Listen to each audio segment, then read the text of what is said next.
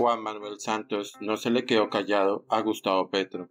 Jefes de Estado tienen la obligación de ser especialmente rigurosos con la veracidad de lo que dicen. El expresidente Juan Manuel Santos lanzó una dura crítica al presidente Gustavo Petro. Santos sostuvo que los jefes de Estado tienen la obligación de ser especialmente rigurosos con la veracidad de lo que dicen, y a su vez compartió una carta abierta que le enviaron al jefe de Estado. La misiva en cuestión es un documento que le presentaron al actual jefe de Estado dos personas que fueron funcionarios de la Administración Santos, Rafael Pardo Rueda y Eduardo Díaz Uribe.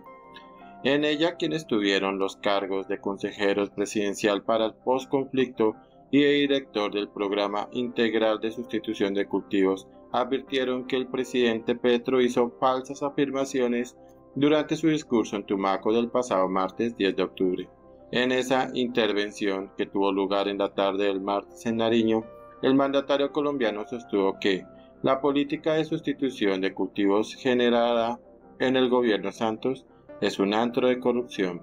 Señor presidente, ante el daño que sus públicas palabras hacen en nosotros, nuestras familias, amigos y en quienes han trabajado con nosotros, lo invitamos a que revise sus fuentes de información y rectifique públicamente su decir.